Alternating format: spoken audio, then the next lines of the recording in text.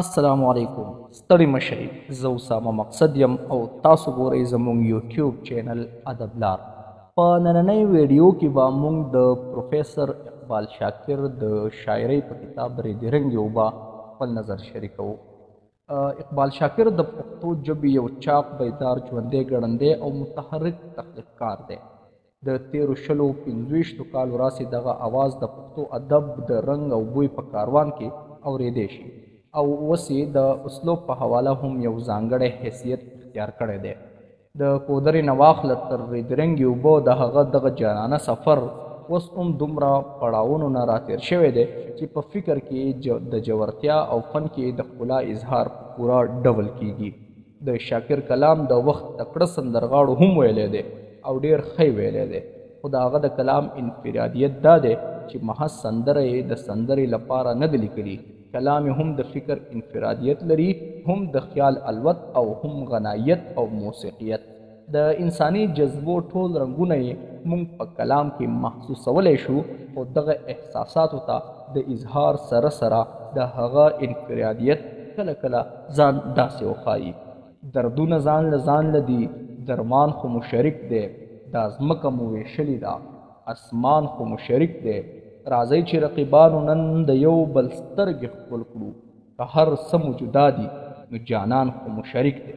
لنډه دا چې دا ځوان او ځوان فکر تحقیقکار د خپل عمر په دې پړاو هم خپل رنګ لري او هم خوند او راتلونکی دور هم د دغه رنګ پوهه متحرکه او ژوندو تخلیق کارونه دی. ښاغلی اقبال شاکر د پښتونخوا د نوي کل نماینده او جدید شاعر دی چې په غزل کې یې نوی رنګ لیدلی او نوی اهنګ اورېدلی شي.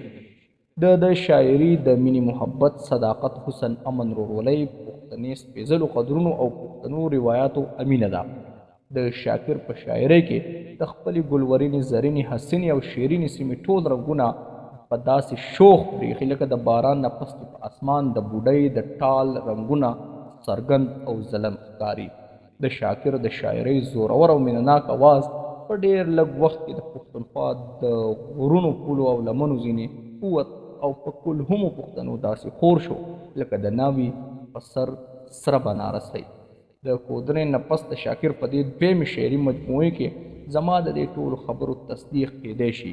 زه ورته هرکلی وایم او هیله لرم چې ټول پښتانه به یې په سترګو لکه باڼه وګرځوي او زړونو او ذهنونو باندې به یې عمر عمر لا نقش کړي. د مثال په توګه باندې د دغه کتاب نه ستاسو سره یو غزل شریکوم. خبر شه د ترخو حقیقتونو د دنیا نه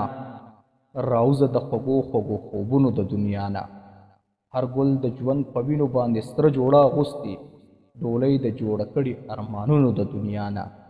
چې ټول روایتونه مې په خپل زړه کې خوندي کړی او لرې چرته لاړی د رسمونو د دنیا نه. بیګا مې خوب لیدلی چې زمونږ دې دنیا ته رالوتې لولکۍ دي د رنګونو د دنیا نه او زما د یار د حسن په اسمان باندې نظر دی